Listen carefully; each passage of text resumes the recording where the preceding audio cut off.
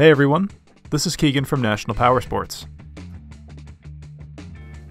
This 2006 Suzuki Boulevard Tour with 15,406 miles passes New Hampshire State inspection and runs well. It's been upgraded with an aftermarket engine guard.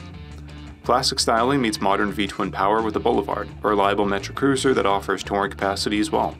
The Boulevard is powered by an 819cc motor that puts 45 horsepower and 44 foot-pounds of torque through a 5-speed transmission. It has a 27.6 inch seat height and a drive weight of 542 pounds.